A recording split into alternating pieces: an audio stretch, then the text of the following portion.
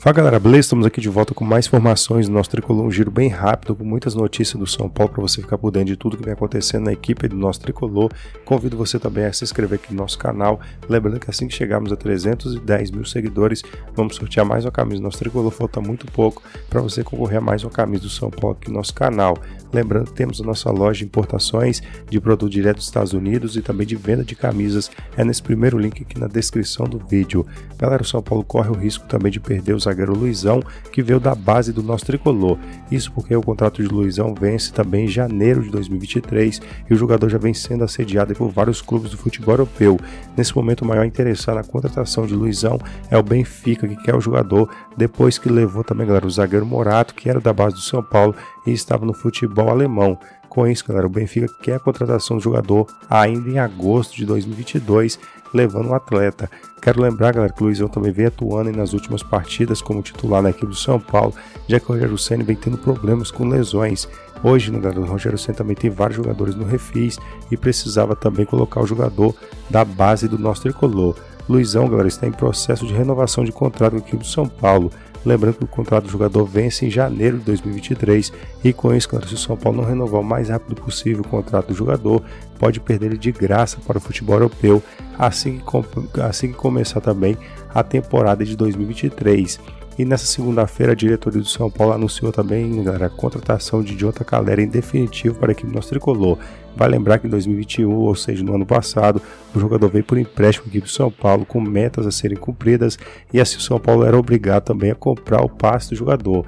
E com isso, galera, o São Paulo anunciou nessa segunda-feira a compra definitiva de Caleri até 2025. Hoje o jogador também é destaque da equipe do São Paulo, galera, sendo artilheiro da equipe nosso tricolor. Caleri também tem a meta de chegar a pelo menos 30 gols nessa temporada de 2022. Até esse momento, galera, ele conseguiu marcar cerca também de 19 gols, então falta muito pouco para ele conseguir essa meta com a equipe do São Paulo.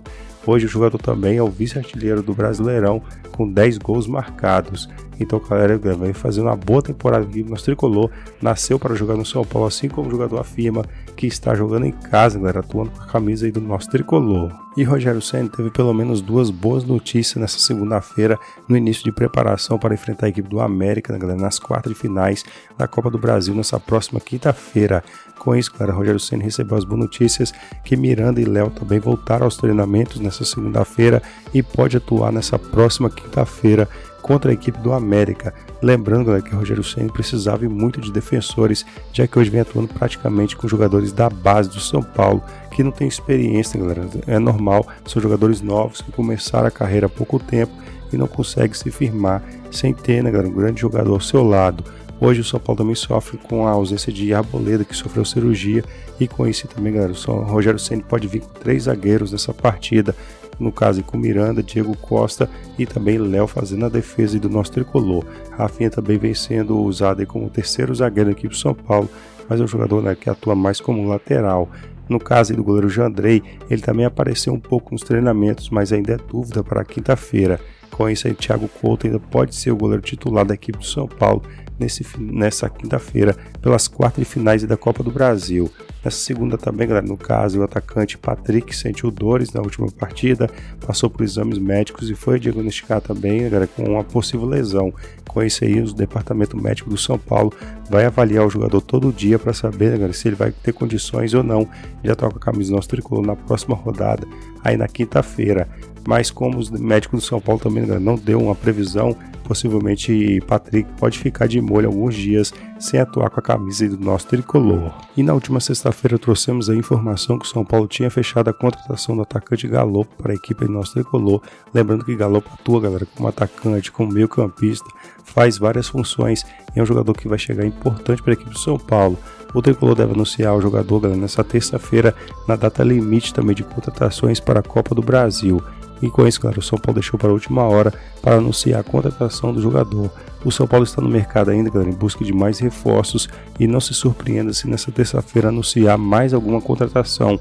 Lembrando que sexta-feira trouxemos informações que o nosso tricolor, além de ter contratado o Galopo, tinha mais uma contratação engatilhada e faltava poucos detalhes para anunciar o jogador o São Paulo pretendia anunciar pelo menos três jogadores para atuar ainda nessa Copa do Brasil, ou seja, ainda nessa terça-feira o São Paulo teria que apresentar mais três reforços. Nesse momento, galera, o único nome que também que vem surgindo como possibilidade de contratações é o goleiro John da equipe do Santos, onde ele é reserva. Lembrando que o São Paulo fez a primeira proposta para o Santos, mas não foi aceita a proposta do nosso tricolor por ser baixa. Mas o São Paulo continua monitorando, galera, esse jogador que pode chegar na equipe do São Paulo, não para atuar na Copa do Brasil, mas para ser reserva também no caso do goleiro Jandrei no restante do Brasileirão. E aí é uma boa não São Paulo trazer o goleiro John para a equipe do nosso tricolor. Mas para isso o São Paulo precisa melhorar e muito a proposta né, da equipe do Santos, que quer manter o goleiro, mas John também quer ter espaço e atuar né, né, nas competições, onde hoje ele é reserva da equipe do Santos. Bom, espero que vocês tenham gostado dessas informações. Se você gostou, deixa o likezinho, comente sobre esses assuntos, se inscreva no canal, sempre com muitas notícias do nosso tricolor.